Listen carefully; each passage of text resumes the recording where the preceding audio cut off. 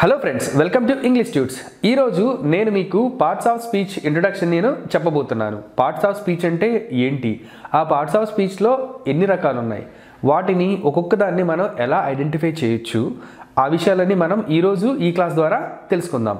చాలా ఈజీగా సింప్లిఫై చేసి మీకు పార్ట్స్ ఆఫ్ స్పీచ్ గురించి చెప్పేస్తాను మనం తెలుగు మాట్లాడుతున్నప్పుడు రకరకాల సెంటెన్సెస్ని మనం ఫామ్ చేస్తూ ఉంటాం. అందులో రకరకాల పదాలను మనము ఉపయోగిస్తూ ఉంటాం.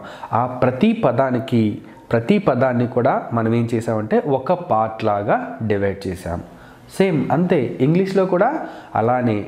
ఇంగ్లీష్లో ఉన్న ప్రతి పదాన్ని మనం ఏం చేసామని చెప్పంటే ఒక్కొక్క పార్ట్గా మనము డివైడ్ చేసాం ఈ పార్ట్స్ ఆఫ్ స్పీచ్ యొక్క డెఫినేషన్ ఏంటంటే all the words in English language are divided into eight parts according to the nature and the word they do అంటే ఇంగ్లీష్ భాషలోని పదాలు అన్నింటినీ వాటి యొక్క స్వభావాన్ని బట్టి అవి చేసే పనిని బట్టి ఎనిమిది రకాలుగా విభజించారు. దీనినే భాషా భాగాలు అంటారు. మనం ఇంగ్లీష్లో అంటామండి వీటిని? పార్ట్స్ ఆఫ్ స్పీచ్ అని చెప్పని అంటాము. ఈ పార్ట్స్ ఆఫ్ స్పీచ్ మనకి మొత్తము ఎనిమిది రకాలు. అవేంటో ఒకసారి చూద్దాం ఇప్పుడు. చూడండి. ఫస్ట్ పార్ట్స్ ఆఫ్ స్పీచ్ మనకి నౌను. ఈ నౌని మనం తెలుగులో నామవాచకం అని చెప్పని అంటాము. తర్వాత రెండవది ప్రణౌన్ ప్రణౌని మనం ఏమంటామండి? సర్వనామం అంటాం. మూడవది ఎడ్జెక్టివ్ దీనిని ఎడ్జెక్టివ్ అని చెప్పి పలకాలి. ఎడ్జెక్టివ్ అని చెప్పని మనము పలకొద్దు. ఎడ్జెక్టివ్ అంటే ఏంటంటే విశేషణం. నాలుగవది క్రియ. క్రియ అంటే వెర్బ్ ఈ వెర్బ్ అంటే మనం చేసే పనిని తెలుపుతుంది. ఐదవది యాడ్ వెర్బ్ దీనిని ఏమంటారంటే క్రియా విశేషణం అని చెప్పని అంటారు. ఆరవది ప్రిపోజిషన్ తెలుగులో విభక్తి అని అంటారు. ఏడవది కంజంక్షన్ దీనిని ఏమంటారంటే సముచ్చయం అని అంటారు. ఎనిమిదవది ఇంటర్జెక్షన్ ఆశ్చర్యార్థకం అని చెప్పని అంటారు. ఎనిమిది పార్ట్స్ ఆఫ్ స్పీచ్ అని చెప్పి నైన్త్ వన్ రాశారని చెప్పి అనుకుంటున్నారా? ఏం లేదండి ఆర్టికల్స్ని నైన్త్ పార్ట్స్ ఆఫ్ స్పీచ్గా మనం ఇక్కడ కన్సిడర్ చేస్తాము. అంతేకాని ఇది ఒక రూల్ ఏమి కాదు. ఇప్పుడు ఈ నైన్ పార్ట్స్ ఆఫ్ స్పీచ్ని ఆ యొక్క క్రమాన్ని బట్టి మనం ఎలా గుర్తుంచుకోవాలంటే చూద్దాం ఇక్కడ.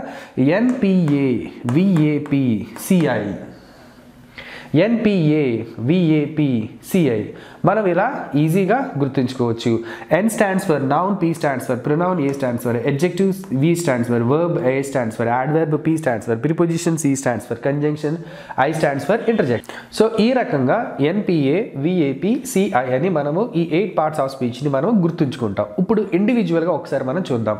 నౌన్ నౌన్ అంటే నామవాచకం. ఇది పేర్లను తెలుపుతుందండి. ఎలాంటి పేర్లను అంటే చూడండి ఇక్కడ మామూలుగా persons place things and animals యొక్క నేమ్స్ని ఇక్కడ మీకు తెలుపుతుంది వ్యక్తుల పేర్లు వస్తువుల పేర్లు ప్రదేశాల పేర్లు మరియు జంతువుల పేర్లను కూడా ఇది తెలుపుతుంది.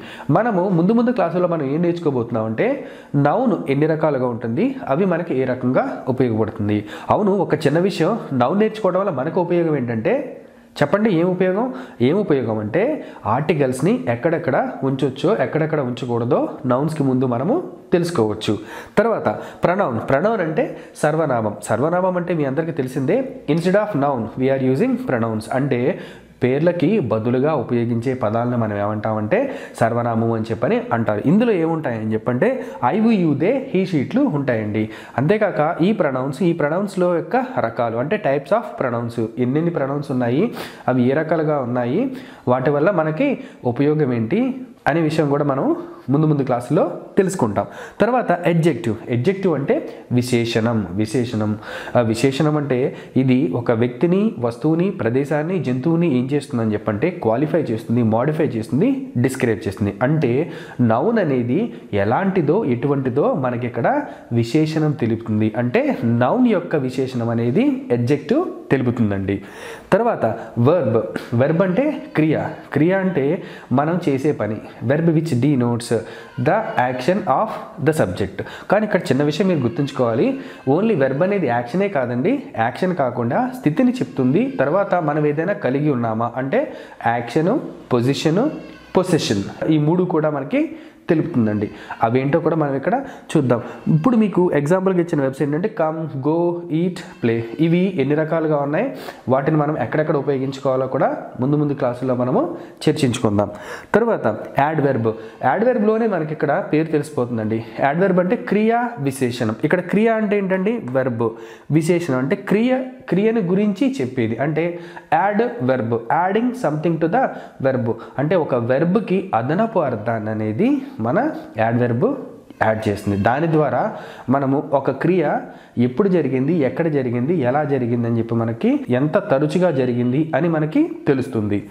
సో ఇందులో యాడ్వర్బ్స్ యొక్క ఎగ్జాంపుల్స్ ఏంటంటే స్లోలీ వెరీ డైలీ యూజువల్లీ. ఒక పని నువ్వు ఎలా చేస్తా స్లోగా చేస్తున్నాను యూజువల్గా చేస్తున్నాను డైలీ చేస్తున్నాను అని చెప్పని మనము ఈ యాడ్వర్బ్ని ఉపయోగించి మనము చెప్పవచ్చు. తర్వాత ప్రిపోజిషన్. ఈ ప్రిపోజిషన్ మనకి చాలా చాలా ఇంపార్టెంట్. దీని మీద బిట్స్ నెంబర్ ఆఫ్ అడుగుతారు. ప్రిపోజిషన్ అంటే తెలుగులో విభక్తి అంటారు. అంటే ఒక నౌన్ యొక్క లేదా ప్రణౌన్ యొక్క మనకేంటంటే పొజిషన్ని తెలుపుతుంది. ప్రీ అంటే ముందు పొజిషన్ అంటే స్థితి. అంటే ఒక నౌన్ యొక్క లేదా ప్రణౌన్ యొక్క స్థితిని తెలిపేదే ఏమంటారంటే ప్రిపోజిషన్ అంటే అంటారు అండి ఈ ప్రిపోజిషన్లో ప్రిపోజిషన్ ఆఫ్ ప్లేస్ టైము మనకి రకరకాలుగా ఉన్నాయి. ఎగ్జాంపుల్స్ ఏంటంటే ఆను ఇన్ను అపాను బిలో ఉన్నాయి. ప్రతి దాని గురించి కూడా మనము ముందు ముందు క్లాసులో చర్చించుకుంటాం. తర్వాత కంజంక్షన్ కంజంక్షన్ అంటే ఏంటంటే తెలుగులో సముచ్చయముగా అంటారు. సముచ్చయం అంటే రెండు పదాలను లేదా రెండు సెంటెన్సెస్ని రెండు క్లాసెస్లని జాయిన్ చేసేది. కన్జంక్షన్ దీనినే సముచయం అని చెప్పంటారండి. ఈ కంజంక్షన్ ఈ కంజంక్షన్లో ఉన్న టైప్స్ ఆఫ్ కంజంక్షన్స్ గురించి కూడా మనము చర్చించుకోవచ్చు. ఉదాహరణకి ఏంటంటే ఇక్కడ and but so or either or neither nor etcetera మనం చాలా ఉన్నాయండి ఇందులో. ప్రిపోజిషన్ కంజంక్షన్స్ కంజంక్షన్స్లో టైప్స్ ఆఫ్ కంజంక్షన్స్ మనకి చాలా ఉన్నాయి. వాటన్నింటి వాటన్నింటి గురించి కూడా మనము వివరంగా తెలుసుకుందాం ముందు ముందు క్లాసెస్లో చివరిగా ఇందులో ఏంటంటే ఇంటర్జెక్షన్ ఇంటర్జెక్షన్ అని చెప్పంటే ఆశ్చర్యార్థకం. ఆశ్చర్యార్థం అంటే మీరు ఏదైనా ఒక సడన్ ఫీలింగ్ ఆఫ్ జాయ్ కావచ్చు సారో కావచ్చు మీరు ఒకేసారి ఎక్స్ప్రెస్ చేసినప్పుడు దానిని మనము ఇంటర్జెక్షన్ అని చెప్పండాం. ఓ అలాస్ హుర్రే అని చెప్పి మనం ఎలా అయితే మీరు అంటారో ఇంగ్లీష్లో తెలుగులో అయితే అయ్యో వావ్ చాలా బాగుంది అని చెప్పి మీరు ఎలా అయితే ఎక్స్ప్రెసివ్గా చెప్తారో ఆశ్చర్యంతో చెప్తారో చెప్పినప్పుడు అవన్నీ కూడా దేని కిందకి వస్తాయంటే ఇంటర్జెక్షన్ కిందకి వస్తాయి. సో ఇవన్నీ కూడా మనకి ఏమవుతాయని చెప్పంటే పార్ట్స్ ఆఫ్ స్పీచ్ అంటే భాషా భాగాలు. మనకి ఎనిమిది అండి మనకి ఉన్నవి ఎనిమిది భాషా భాగాలు. వాటన్నిటి గురించి మనము తెలుసుకున్నాం కదా. ముందు ముందు క్లాసెస్లో మీకు ప్రతిదీ కూడా నేను ఇండివిజువల్గా అండ్ డీటెయిల్గా ఎక్స్ప్లెయిన్ చేయడం అనేది జరుగుతుంది. ఈ క్లాస్ కనుక మీకు నచ్చినట్లయితే దయచేసి మీరు కామెంట్ చేయండి లైక్ చేయండి మర్చిపోకుండా మీ ఫ్రెండ్స్ అండ్ ఫ్యామిలీ మెంబర్స్కి షేర్ చేయండి. Thanks for watching this video